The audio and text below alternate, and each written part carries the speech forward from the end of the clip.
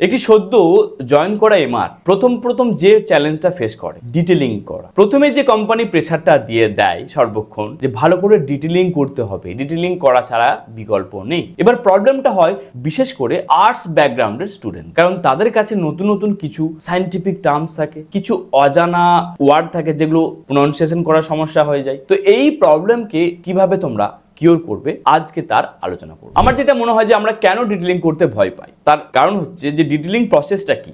ডাক্তারবাবু তোমার দিকে চেয়ে থাকবে, তোমাকে একটা বিষয়কে প্রেজেন্টেশন দিতে হবে। এবার এই বিষয়টা সত্য কথা বলতে বড়ই ভয়ঙ্কর। মানে ধরো একটি রেপুটেড ডক্টর অনেক পড়াশোনা করে এসেছেন, একটা চেম্বারে বসে আছেন, বড় টেবিল উনার ওনাকে দেখতেও লাগছে ফিটফাট। এবার তুমি গেছো, উনি তোমার দিকে হাঁ করে চেয়ে আছে এবং তুমি তোমার প্রোডাক্টের ডিটেলিং করছ। একটা ভয় থাকে। এটাকে ওভারকাম করার প্রথম কাজ হবে।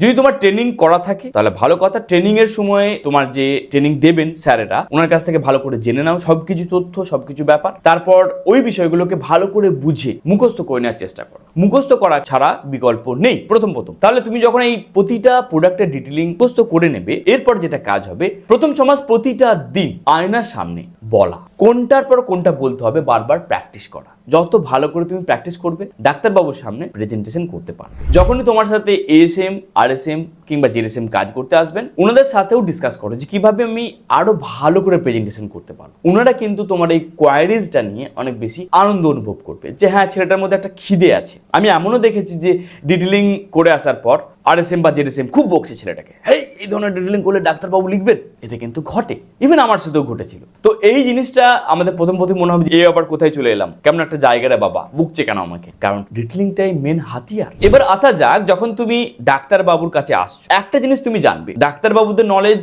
অনেক বেশি। অনেক কিছু জিনিস পড়াশোনা করে তোমার সামনে আছে। এবার আমাদের সমস্যাটা হয়ে যায় যে, আমরা ওনাদেরকে এতটাই বড় করে ভাবি আর নিজেদেরকে এতটাই ছোট ভাবি যে, আমরা অনেক বেশি আন্ডার কনফিডেন্স হয়ে যাই। তাহলে আন্ডার কনফিডেন্সকে ওভারকাম করার জন্য তোমার যেটা কাজ হবে, তুমি তোমার প্রোডাক্টের সম্বন্ধে বেস্ট নলেজ গ্যাদার করো। এর বেশি বাইরে যাওয়ার দরকার নেই। যতটুকু জানো, ভালোভাবে জানার চেষ্টা করো। যখন তুমি তোমার প্রোডাক্ট সম্বন্ধে বলবে, জানো যে প্রোডাক্টের দাম কত আছে কম্পিটিটেড ব্র্যান্ডের কি কি দিয়েছে সেখানে তুমি কিছু কিছু রেফারেন্স দিয়ে বলতে পারবে। এগুলো তখনই সম্ভব যখন তুমি তোমার বেসিক জিনিস অর্থাৎ ডিটেলিং বইটাকে ভালো করে মুখস্থ করে নেবে বইটা মুখস্থ করে নেওয়ার পর এর পরে যেটা হয় যে ডাক্তারবাবুর সাথে আমরা এক্সট্রা কিছু কথা বলতে পারি। যেমন কথা প্রসঙ্গে উনি বলতে পারেন যে হ্যাঁ, আচ্ছা আমরা কি এই পেশেন্টকে দিতে পারি? ধরো কিছু বেঁকিয়ে টেরি বেঁকিয়ে প্রশ্ন করল। তো এই ধরনের প্রশ্নতে উত্তর হিসেবে তুমি বলতে পারো যে হ্যাঁ স্যার আমরা দিতে পারি এখানে বা ওই ধরনের পেশেন্টকে আমরা দিতে পারি। এটা তখনই সম্ভব যখন তুমি তোমার প্রোডাক্টের সম্বন্ধে ডেপথ নলেজ গ্যাদার করবে। বর্তমানে ভালোভাবে নলেজ গ্যাদার করার জন্য কোথাও যেতে হবে। তোমার ফোনটাই কাফি। একটু যদি চোখ কান খোলা রাখো, প্রতিটা প্রোডাক্টের সম্বন্ধে অনেক বেশি তুমি নলেজ কিন্তু গ্যাদার করতে পারো তাহলে প্রোডাক্ট নলেজকে যত তুমি ইনহেন্স করতে পারবে, তত ভালো করে ডাক্তারবাবুর সাথে কথা বলতে পারো তারপরে একটা সময় পর দেখবে, যত বড় বড় ডাক্তারবাবু থাকুক না কেন, তোমার কিন্তু মুখের বুলি অটোমেটিক চলছে। এটা গেল। এর পাশাপাশি আর একটা জিনিস আমি বলি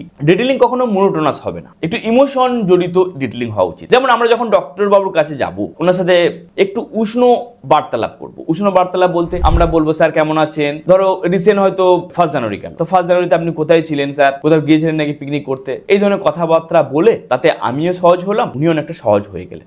আলটিমেট একটা জিনিস জানবে, ডাক্তারবাবুরাও চাই যে আমরা কিছু বলি, কারণ উনিও উনার দু থেকে তিন মিনিট সময় তোমাকে দিচ্ছে বলার জন্য। যখন তুমি পারফর্ম করবে ওই সময়টা, জানবে তুমি ওই সময়টার বেস্ট অ্যাক্টর বেস্ট অ্যাক্টিং করে তোমাকে বেরিয়ে আসতে হবে। যত সময় যাবে, যত তুমি বেশি এক্সপেরিমেন্ট করবে, যত বেশি তুমি নিজেকে পুশ করবে, তত ভালো তুমি রেজাল্ট দেখতে পাবে এই ডিটেলিং এর ব্যাপার। ডিটেলিং সম্বন্ধে যদি তুমি আরও বিস্তারিত জানতে চাও, আমি দুটো অনলাইনে কোর্স এনেছি। এই দুটো কোর্সের লিঙ্ক ডিসক্রিপশনে দেওয়া আছে। একটি কোর্সের মূল্য রেখেছি চারশো নিরানব্বই টাকা, যেখানে আমি থার্টি টু ভিডিও দিয়েছি। আরেকটি কোর্স আছে যেখানে রেকর্ডেড ক্লাস তো আছেই, তার সাথে আমার সাথে তুমি লাইভ ক্লাস অ্যাটেন্ড করতে পারবে। তাহলে দেরি না করে এই দুটো কোর্সের মধ্যে থেকে যে কোনো একটি কোর্স এনরোল করো। এমার সংক্রান্ত আরও ভিডিও পেতে আমার চ্যানেলটি সাবস্ক্রাইব করো। পরের ভিডিওতে আবার দেখা হবে।